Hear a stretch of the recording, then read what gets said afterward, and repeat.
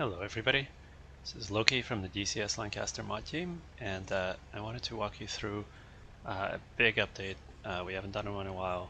Um, so here we're going to cover cold start, we're going to go through the EFM uh, conversion since the last update um, and hopefully we can get from this parking lot uh, to the sky all under her own power.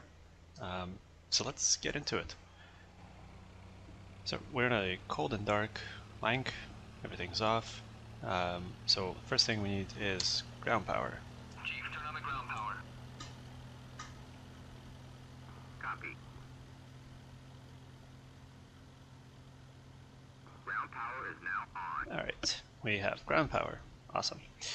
Um, so to start the engines, we need fuel. Um, I'm in the pilot position presently.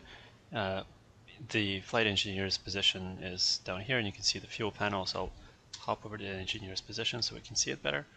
Uh, here we go. So at the bottom uh, in the black dials we have uh, fuel quantity in each tank. Above that in blue is the coolant temperature for each engine. Above that is the oil temperature for each engine. And on the left you have controls for the fuel pumps. So let's go ahead and turn on the panel switch at the bottom. You can see the fuel pressure lights have gone on uh, because we haven't started any of the pumps yet. Uh, and we have fuel in the uh, number one tanks on each side and not the others. So we're going to go ahead and switch to the number one tank uh, for each side. We'll select it and turn on the fuel pump for those tanks. Now you see the uh, fuel pressure lights have gone off, so we have pressure at all four engines uh, which means that we can hop back here and walk through uh, the pilot startup. Uh, so we are going to need magnetos, turn those on. We will also need the boost coil. Uh, this gives a spark while the magnetos aren't turning fast enough to do so reliably. Uh, and we're going to start with the number 3 engine, that one there. Uh, let's put it to full rich and just crack the throttle a little bit. Uh, go ahead and hit the starter.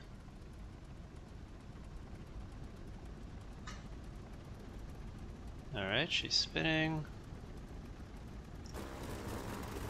And there we go. We have ignition.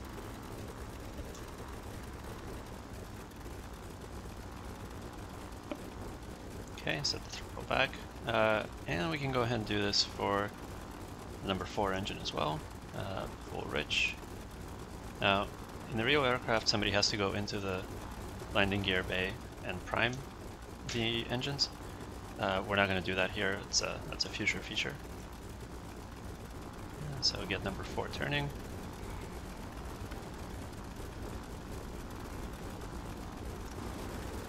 Alright, there goes number 4. And you can see they're idling a little rough. That's to be expected, they are cold.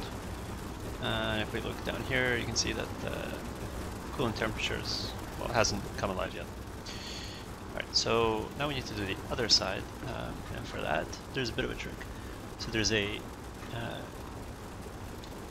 undercarriage indicator switch, and we have to toggle. You see the uh, lights for the gear have come on, and that uh, releases the magneto switches for the left side. So now we are good on that. We're gonna go ahead and start number three, number two rather. Again, crack the number two throttle a little bit.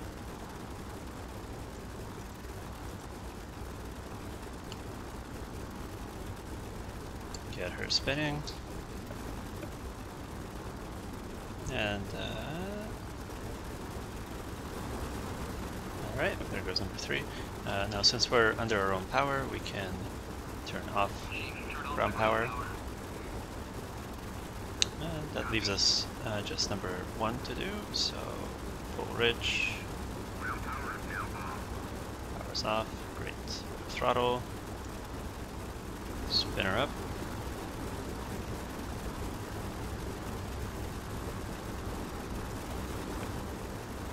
Alright, now we are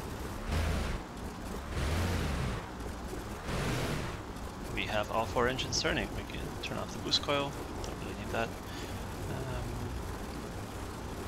Um, Okay, pretty much ready to roll here.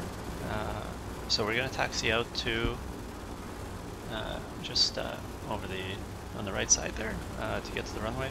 Uh, for taxi, we need to put the coolant, uh, rather the radiators, to full open, as opposed to automatic. So I'll do that on the left side, right side. Okay, there we go. Uh, now we're gonna steer on the ground with differential brake and differential throttle, so I can, uh, for example, turn on uh, throttle just number one, uh, maybe number one and two. So we have, because we've switched over to an EFM, we have individual control of all four engines and individual temperatures. Each each engine is its own entity. So we're kind of rolling along here, and I'll just give it a bit of uh, wheel brake.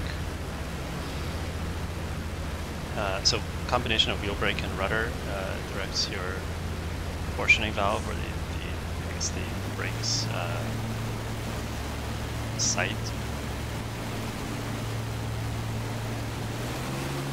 Just a bit more uh, left foot thrust, not too much.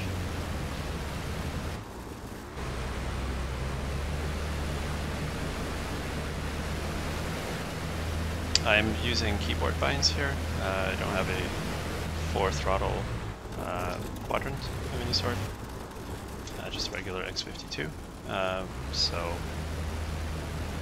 if you have a good idea for how to configure keyboard controls for four engines, please let us know.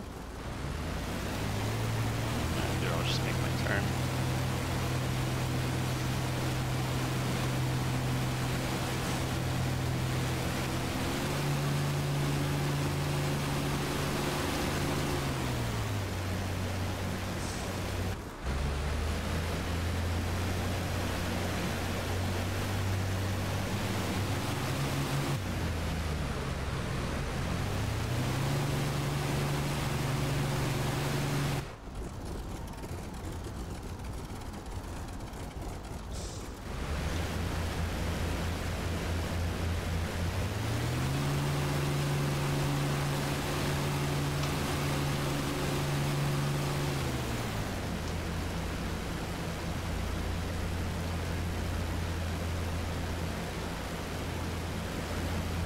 Alright, just need to rotate in place.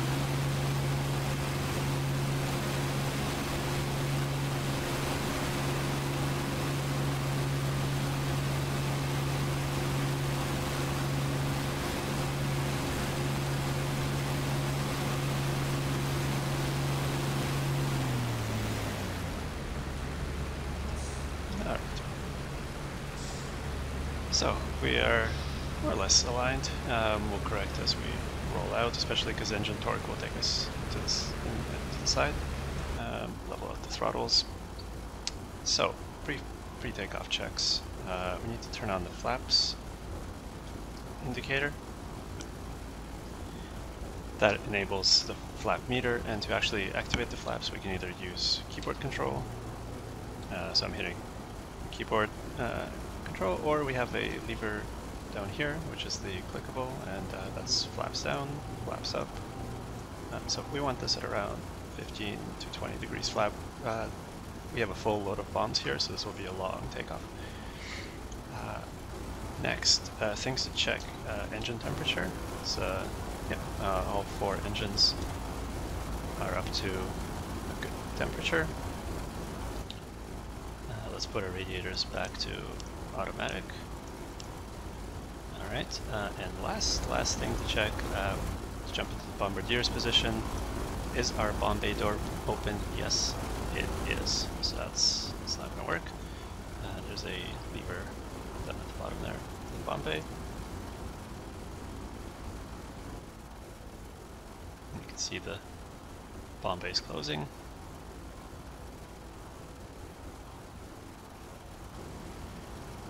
Okay pretty much ready to go here. Um, one last check. The supercharger speed should be in MS for takeoff. You don't want to overboost or risk overboosting on takeoff. Uh, FS is really for 11,000 feet and higher. And here we go.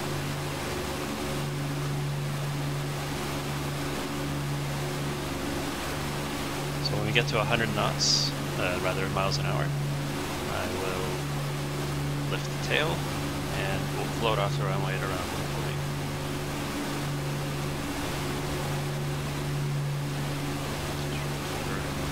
Around here.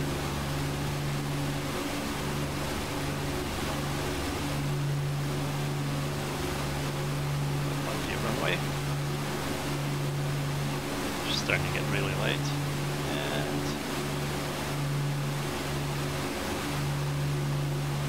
the important thing here is not to pitch up too much. You want to build speed before you do anything too crazy. She's heavy she needs to get going.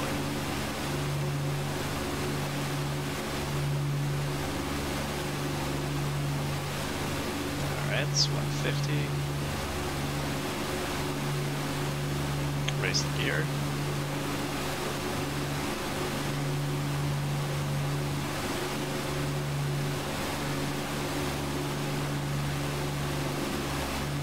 Just maintaining some climb here. Slight, but uh, definitely want to make it over the trees. And the more speed you pick up, the more lift you have, so that's, that's kind of the game here.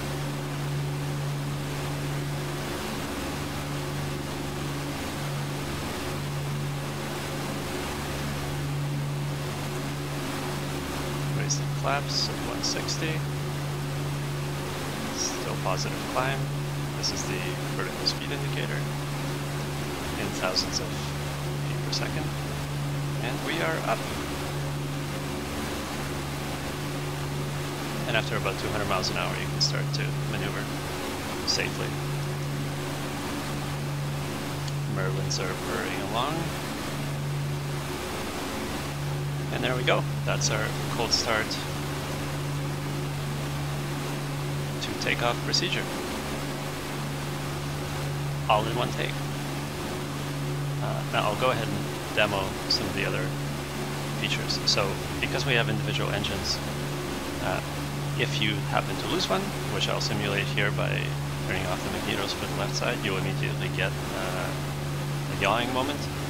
And there she goes. Turn it back on.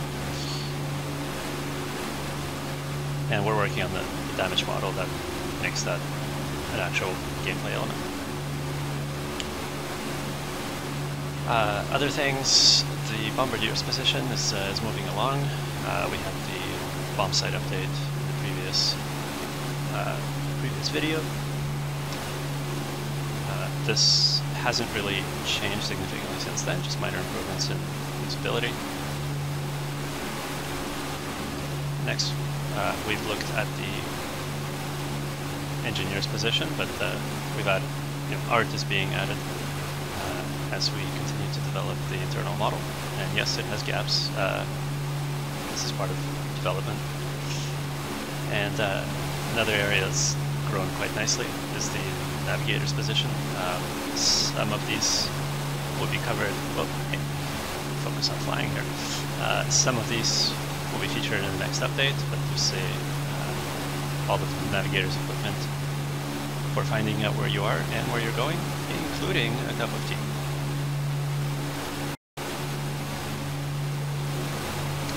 that about concludes today's update. Thanks everybody, and we'll see you in the next one.